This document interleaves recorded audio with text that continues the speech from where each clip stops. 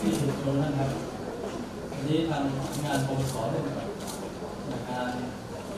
ที่ร่วมกันปฏิบัติการ นั้นจะมาจากทางอเมริกาใต้นะครับ แล้วก็นิยมที่จะส่ง